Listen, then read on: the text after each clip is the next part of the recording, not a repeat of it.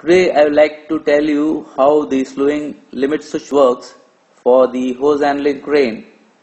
Uh, once you enter inside the hose handling crane, you have the uh, electric motor. Uh, this you have to open the door there. You have a door, you open inside, you will come to this place. This is the electric motor which drives the hydraulic system. You have the hydraulic line coming over here. So, and going back. So this is the triangular thing which is hinged.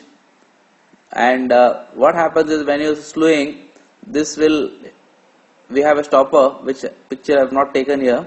So the stopper will push the hinge either on that side or this side. So when it pushes this base will uh, press the pin. There is a pin here. It will press the pin and short circuit the hydraulic flow of oil. So in this way the slewing operation will stop. If this pin is stuck then the slewing operation will not happen. So you need to release this pin. So if you see this picture, this is the electric motor. You need to see this. Uh, this is the universal coupling, and you can see if this coupling is broken, then also the whole hydraulic system will not work. This is the gear for slewing. We normally go inside for taking the rocking test. I have explained you the rocking test in one of the videos.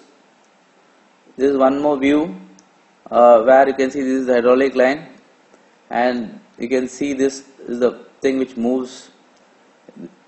Next picture I will show you. This is the hose. Inlet hose.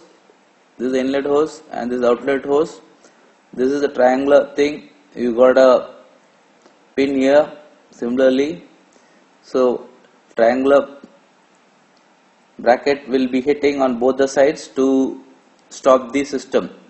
Uh, some of the hose handling cranes have the system outside the crane. Same thing happens there also. There is a pin. Those pins get stuck. You have to release it. This is inside the hose handling crane.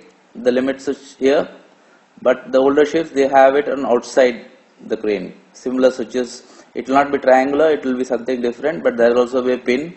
You just release these pins. It will start working. If you have any message regarding this, you can always send me. Thank you.